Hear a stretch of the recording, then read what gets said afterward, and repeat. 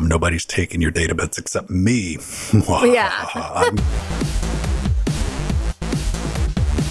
Hey everyone, welcome back to Linux Weekly, daily Wednesdays where we sit back, relax, take that midweek break, talk about some of the fun things going on in the world of Linux and open source. I'm Venn Stone, joined every week by Jill Bryan. Everybody, we're just hanging Hello, out in the pre-show. If you like to watch that and you want to catch the after show, you can always check us out on patreon.com forward slash Linux Gamecast. But man, we got a lot to unpack this week. We got Linux kernels, ATI updates, Audacity's getting big brains with AI, and Yeah.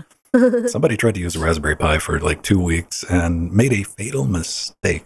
yes. Jill was very excited. Uh, one of your favorite games got a fan made mod that came out Yeah. Saturday previously, didn't it? Yeah, absolutely. So it's a Portal Revolution. And, you know, it's it's a great mod that, you know, has a standalone game on Steam. And it is just actually so nice to be playing Portal again, especially after playing all the other mods. I'd gone to gone through every other mod and I was waiting for something new. so I was excited about that. And as you can see, Portal is my favorite game, Portal and Portal 2 games of all time. Uh I got a Portal Cube right behind me, so and here's my turret. I see you. no, I just love, love, love Portal. I like first person puzzlers. And um, I've also then been really enjoying CES 2024 coverage. There's been lots of good announcements. Some That's of been going which, on, hasn't it? yeah. So some are things that that they announced last year, but now we're actually going to see them, you know, out in the public. Like for instance, ASUS is launching finally launching motherboards of connectors on the back. And actually, they're also announced GPUs with the new power connector on the PCI rail. So, uh, in order, of course, to do that, they have to make a motherboard which is compatible with that connector, and you will have to buy an, that ASUS GPU with the motherboard if you want the connector on the rail. But if you don't, you could still use the card, you know, like you you do in any other build and install it, and then um, uh, use. They they were going to have some other connector for it too, so you could could put it in a, uh any case, so in any motherboard. But anyways, that's really cool. And also, I was impressed with the Asus ZenBook Duo dual display OLED laptop.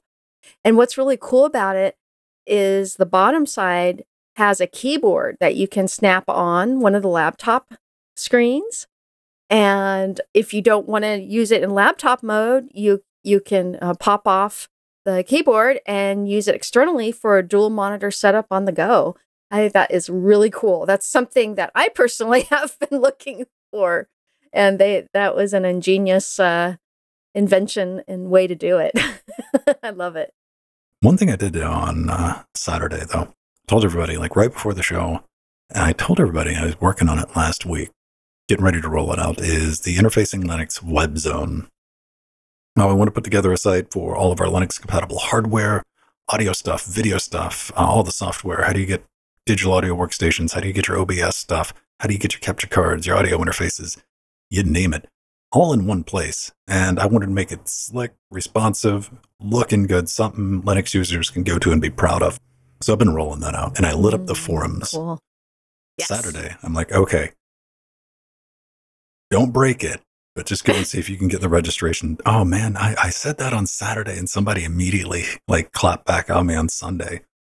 Oh no. They, they hit me with an email, and they're like, "Well, I, I don't, I'm not going to be able to. I, don't know how they were able to type with this much um tinfoil wrapped around them. Um, they they're not going to register because of WordPress and all the oh. privacy concerns." And. I'm like, Uh, yeah. all right, first off, all of our websites are self hosted. Like they're Yeah. not at WordPress.com. Nobody's taking your data bits except me.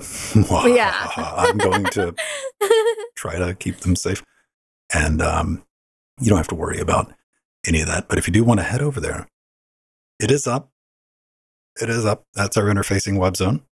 For our video listeners, uh, audio listeners, I'm at interfacinglinux.com. We got the categories put together. It's reasonably responsible. there's a, a bunch of stuff that I still need to catch and I still need to fix, you know, but it should pop up and have all of the information. And I'm porting a lot of this stuff, and you're like, wait a minute, where did all this content come from? This is stuff I've been doing for years that a lot of people had no idea about because it was on a Linux gaming site. Mm. And uh, here it is. It's something that you can search, stick together, but more importantly, something that Linux Gamecast was never designed for. This is interactive. So not only do we have comments, we have a forum. Yes. The forums, all of it's integrated. And my new favorite person in the world this morning, Team Linux 01 has already, because I have a place for site feedback. This is where I want people to head right now. If you get a chance, he, she, them, they've been going through like, hey, this is broken, this is broken, this is broken. And I'm like, thank you, thank you, thank you. Oh, I, uh, nice. You know, stuff Sweet. that I want to see. But the forums yeah. are going to have spots for video, audio, you know, all, all, the basic stuff that you would might run into being a content creator on Linux and questions that you might have. And I want to have a, you know, not Discord server, not on Reddit or whatever, collection database, ad free, you know, just that knowledge base of what works on Linux and different problems, something that you can search through. And uh, it won't be kludgy or clunky. And, you know, I've been meaning to do this for, I went back and checked. I said I was going to do this three years ago. Yeah, I remember you talking about it then. Like, yeah. We're going to get going. And, um, well, here we are. Here we are. There's still a lot of work to be done. Uh, the stuff I am moving over to interfacing Linux. It's taking a while because it's a very manual process. And also, I'm mm-hmm. updating all of this stuff. Because mm-hmm. guess what? Linux changes pretty quick. Yes. and, and that's a wonderful thing. something I did like six or seven months ago. I'm like, oh, we need to go ahead and update that and make it modern. So I want that resource mm-hmm. to be available for everybody. If you do get a chance and see if you can sign up, if you want to make sure you get your username and uh, take a look around, see if anything's broken and let me know in the site feedback on the forums or if you have questions. Uh, one thing I will promise you until my dying day, you know, if you're like, hey, I got a question for you. And, you know, I've been doing shows on Linux with streaming. I've learned a lot over the past 13 years. By no means am I the expert or definitive source, but I do know a lot. So if you do post a question about something, I will respond to you there. I give you my guarantee, and hopefully other people will too. Who knows? You know, you build it, Maybe they'll come, maybe not, but at least you got to try. So interfacinglinux.com, go check it out and check it out on mobile. That was something I yeah. forgot today. That was a notification. It's like, yo, uh, the logo is not mobile responsive. I'm like, correct. Um, let me fix that. So yeah. now it is. You know, little things like that that I'm not going to catch. And uh, yeah, if you have questions about audio, video, software, capture cards, single board computers, or if you just want to post pictures of ships, Yep, which I did. the Starship Enterprise. we, we have a uh, dedicated forum just for ship posting. So if you want to do some ship posts, uh, we got it. And uh, plenty of ships up and going. There's uh, Jill. Yeah. There it is. And and by the way, Venn, I actually did uh, create my account on mobile on my cell phone. It should work yeah. relatively well on mobile. Yeah. Um, with the forum software and with uh, what passes for a theme, it's not correct to call it a theme. I spent some money. mm-hmm. Yeah. Um, oh. And the forum's very neat.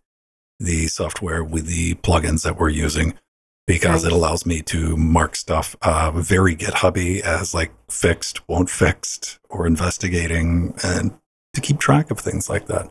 And I want that resource there because I don't like things getting memory hold in Discord we don't know what's going to happen to Reddit.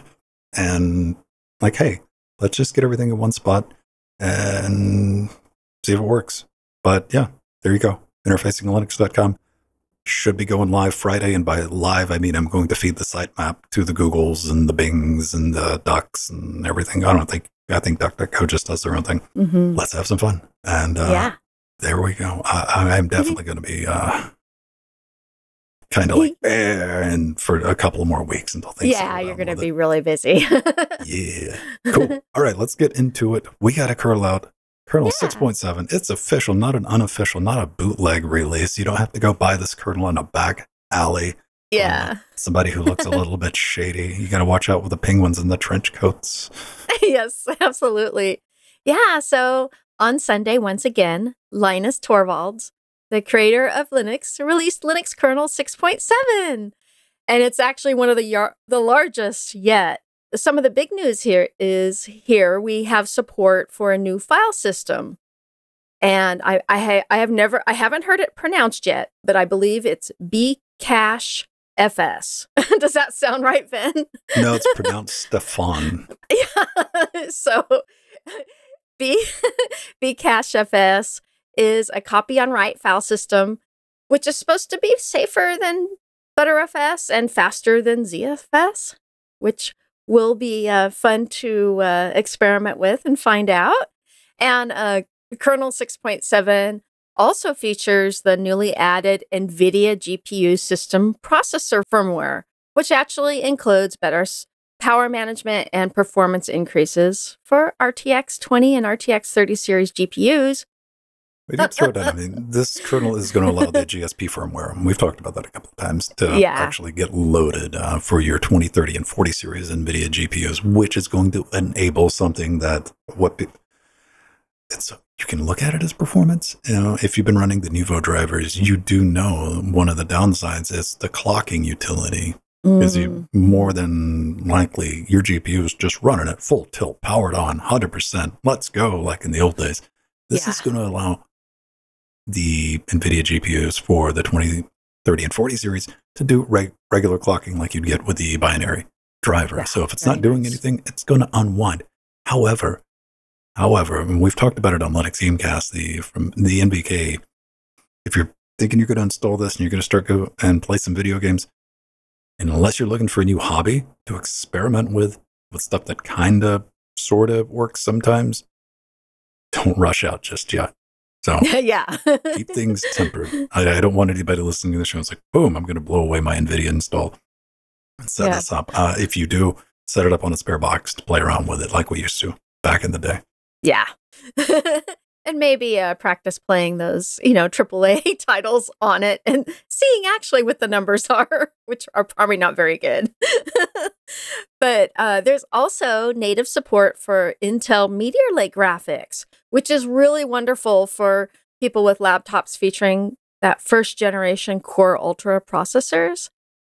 And another big thing, and this was important to me because I do have an Asus ZenBook if you have an Asus ZenBook laptop circa 2022 and 2023 and you know had a really hard time getting the Cirrus CS3 14 one audio amplifier working on Linux, well the Cirrus developers made a commit in the Linux kernel so that there'll be better support for the chipset and you should hear audio now through the speakers.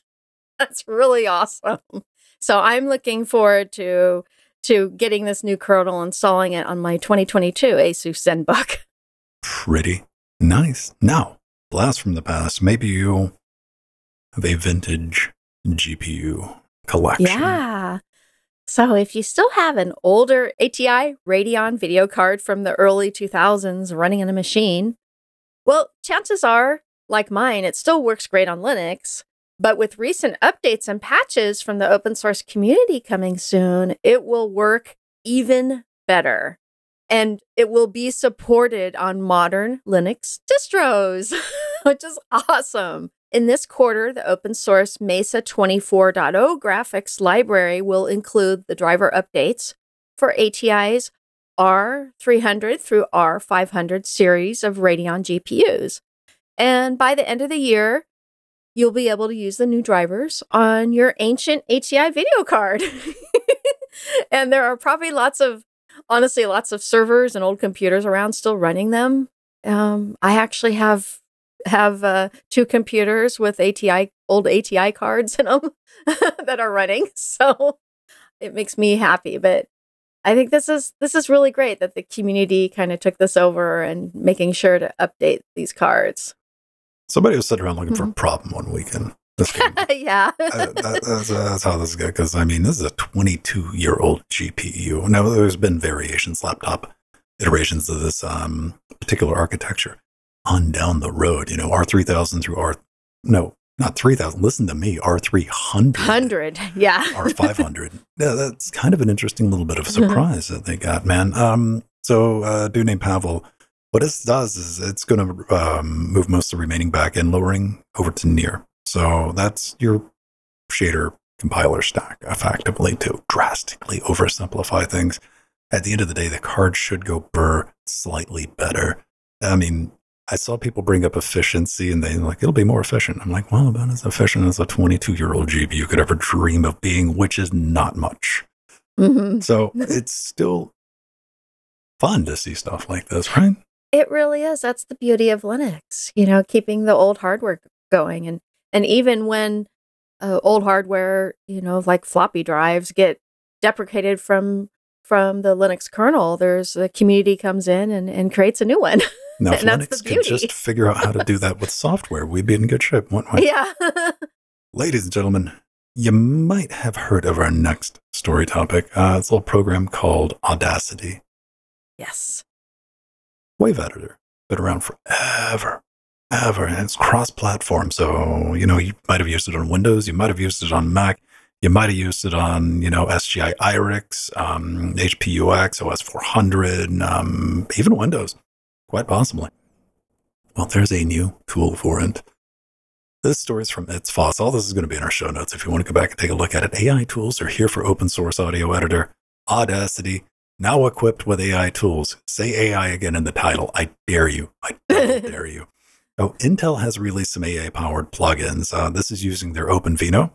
And what do we get? A couple of different things in this. You get music separation plugin, a style remix plugin, noise suppression plugin, and um, one that's kind of interesting, a music prompt generation plugin. So you can like make some sick tunes, man, or an ill beat, and you'll get something that sounds like a cat in a, a refuse bin being rolled down a hill, probably. But it's going to be there. And of course, Whisper for transcribing spoken Yes. word or, you know, just generating lyrics, however you want to play around with it.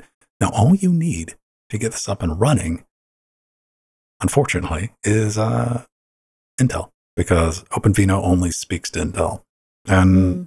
No, I mean, that's what it is. So if you get an, and the, I couldn't find out if this even works with ARC GPUs. The best I can tell is I know for 100% that this is going to work with a recent generation Intel CPU. It, it will probably work with their NPU and uh, GPU stacks. The source, of course, is available with Linux build instructions. So that is there. And I want to say more power to those of you sticking with Audacity because I didn't uh, after, you know, I, I stuck around for a while after Muse picked it up. Hmm And about uh, nine months into that experiment, when Muse decided they were going to turn what was otherwise a perfectly serviceable waveform editor into a really, really, really, really, really, really, really, really bad digital audio workstation, I cut it out of my toolchain completely. And that was not, you know, Audacity was part of uh, recording Linux Gamecast, weekly, daily Wednesdays for a Mhm. better part of a decade, and A it just long got to the part where it was unreliable, and I'm I, I like I, I can't be part of this, man. Like once once they get it figured out, maybe. But I'm gonna say good on Intel, open source uh, Yeah. audio plugins, and good on the Audacity team for you know making sure everything is going to work. And if you have an Intel system and you want to play around with AI TM, like everything's AI, man, I'm waiting for AI toasters. Yeah. yeah. That would be hilarious. It's yeah. And you know, this is actually really exciting news and honestly, Venn, I was waiting for Audacity to have some sort of, you know, AI implementation uh, coming in the future. I, I knew it was going to happen eventually. Yeah, it's So- completely pointless, but here Yeah. it is. Yeah. So I, I figured transcription was coming soon, but music generation per genre, you know, I really wasn't expecting. This could be another good source for music for podcasts and YouTuber videos and vlogs. I, I think that was just so cool that you could generate music within Audacity. And it makes sense because a lot of musicians that, you know, are still using it.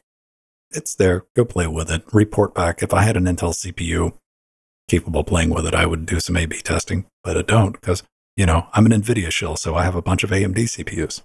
Mm-hmm. Have fun with that. Ladies and gentlemen, up next is uh, Jill. Do you have your Raspberry Pi ready to hold up to the camera? No, actually, I don't because it's in the in, in a project right now. So I didn't want to take it apart and bring it in. Jill's finally plugged a Raspberry Pi into something. oh, Good yeah. news. Well, I've been using it. Good news. Why are we talking about Raspberry Pis? Well, Andrew has wrote a little story about his adventure, his journey over at Ars Technica, what he learned from using a Raspberry Pi 5 as his main computer for not one, no, that's peasant rookie numbers, two weeks. And yeah, you know, you got to think about it. Like, you could almost get away with using Raspberry Pi 4 as a desktop. Mhm. Yeah, like, everybody's played around with it. I'm sure if you get a Raspberry Pi 4 and you plugged it in, you're like, eh, all right, you kind of browse with it. I mean, it was close. It, it was close enough to where it would make you a little angry if, like, it was just a little bit faster. yeah. And that's what Andrew mm-hmm. wanted to find out. Can't say I blame him. So, what did he do? Well, he decided to take this Pepsi challenge, and again, two full weeks. And I, I, I got all the way through the article, but I had to back up because something was bugging me. It's like I, I got it set up and I went ahead and put Ubuntu on it, but I kept having problems with Chromium and I couldn't listen to Spotify. All right. Uh, why are you listening to Spotify through Oh. Chromium? Then I went back and reread it. And it's like, well, because Spotify, there's no app for Spotify on the Raspberry Pi. yeah. There, there are several that you can run. Uh, not making this up. This, this is here. Now, this is somebody who describes themselves as, an, in his words, advanced beginner range. Now, you're, I know what you're thinking, but Venn, this is, uh, you know, this is an x86. I'm like, you're right. You're right. But you're running Ubuntu, Raspberry Pi. How did you not find the first Google result? yeah. the first DuckDuckGo, the first Bing result for Spotify Raspberry Pi, which is a snap from Yeah. Ubuntu on Snapcraft, where you just click install, my man. yeah.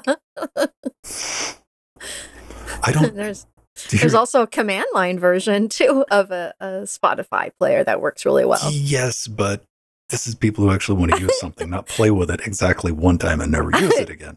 Yeah. so uh yeah this uh, the rest of the article the rest of the article um was a predictable tragedy of user errors and i, I kind of checked out at that point because you know you, you can refer to yourself as an advanced beginner And there's a reason i'm bringing all this up but you can't come into linux with the i got this bro or i got this sis mentality it doesn't work like that you will Yeah. always have a experience very similar to what our friend Andrew had. Of just why isn't this working? Well, what did you do? Well, I applied what I knew about Windows to it or Mac to it, and it, I couldn't get it to work.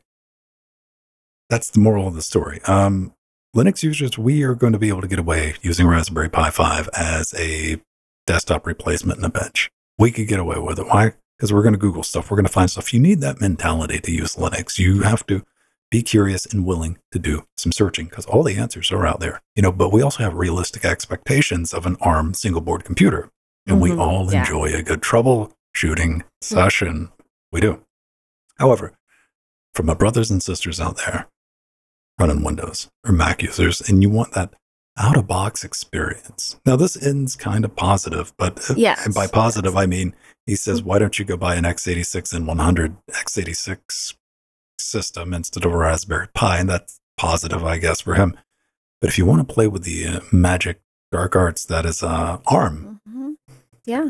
you need to get an Android tablet or Chromebook because that's that's where an advanced beginner should start Yeah. Their journey. With Linux if they're not going to do the part B of the equation. And when you say Linux is not ready, that's what a lot of people mean yeah. because Yeah. it will not survive contact with um, confidence based on nothing. You know, it, Linux is a advanced, complex operating system, hmm and this is one of the reasons I get I push back a lot when we really try to dumb that interface down to make it super user friendly because it's still going to break. And if you don't teach the user at least some, you know, a rudimentary understanding of what's under that and how to at least begin the troubleshooting process, they're just going to wipe it and reinstall Windows. Yeah. That's what happens. That's what really happens. So, So true. my advice for Andrew is to get your pie back out. Get back on whatever search engine you decide you want to use. Answer these questions because everything in there has got a solution to it. And you're going to learn so much more on that that you can use in so many other things. This is one of the beautiful things about Linux. You don't want Linux to just work. Maybe you do. Yeah. Again, buy a Chromebook. Yeah. it's the tinkerer's OS. You know, that that's you you want to want to learn your operating system. You want to get in the guts of it. You want to play around with it. That's you know what what makes Linux so much fun and and exciting when you achieve those the goals of you know figuring how to out how to do something in the in the terminal or in GUI. You know, it's just it's part of the fun of using Linux. All right, beautiful people. Hmm. That's going to do it for this episode. If you like what we do, you want to get some bonus things, you want, because we're about to go into the after show, you want a copy of that in podcast format, you want to watch the video a week early, head over to patreon.com forward slash Linux Gamecast, take a level. Then you can hop into our Discord. You can come play Trackmania with us on Tuesdays and Thursdays. Yeah. bunch of other bonus things I like to throw in as well. Thanking you for your support. Yay. go check it out if you get a chance. But that's going to wrap us up for this week. And hey, go check out interfacinglinux.com. We're getting started on a whole new thing. It's probably going to be a wild ride. Or Mhm. buckle up. Exciting. We'll see you there. Let's do some credits, Joe. Yeah. We have lots of beautiful people to thank, including our advisors, Omegas and Artharian. Our Artharian's in chat right now. Our executive producers, Barbrandt, Scott M, Atomic. Our Chicago Kicks people, Empty, Blasphemia, Nubbin, Super Death's Howl. and our sea monsters, Veritunina, Justin, Hakeem, David, Darkwing, System T. and our Death Notes, uh, Benjamin, Doom 2 Wad, Stephen B, Dirty Dean. and our chairlings, Douglas H, Thomas T, Beastwig. You got to focus Yay. on one a week, then we can do a supercut and you'll have the entire thing down for the Yeah, charities. there we go. Hey, everybody. we'll see you next week. Bye bye. okay, bye bye.